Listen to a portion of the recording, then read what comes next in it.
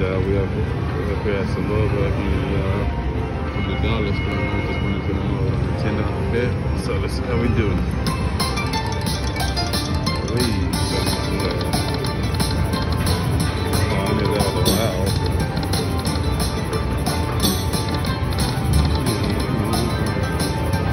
I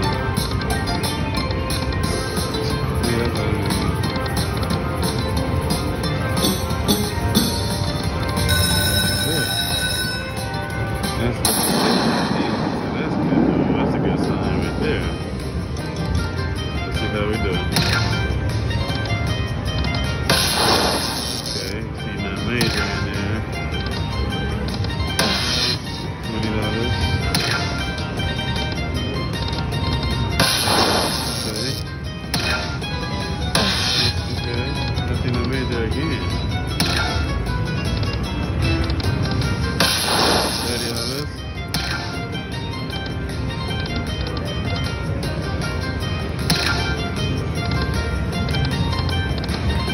Gotta say my first day up here, so I'm going to uh,